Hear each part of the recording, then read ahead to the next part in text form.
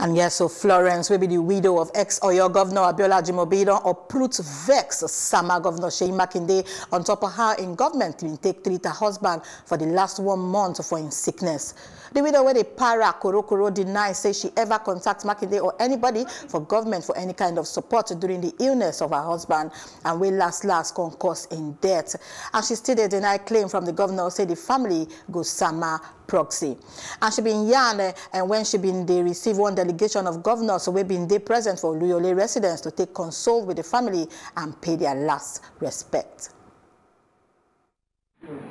I think the least anybody can do as a God-fearing person is at least to send me a word of encouragement at that time.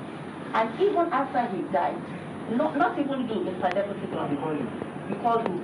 You called my dead husband. No, your, your phone number I call you You should have sent me a text message, sir. I call you uh, You can send a, I don't have your number, I can't pick up. I'm the wife of a politician, I don't pick numbers I don't know. You can send me a message, sir. Your Excellency. You can send a message, sir. You can send a message. All the, all the, You can send a message.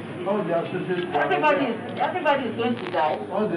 My husband is dead. My husband is dead, and he served this, this state for eight years. Eight good years. What are we talking about?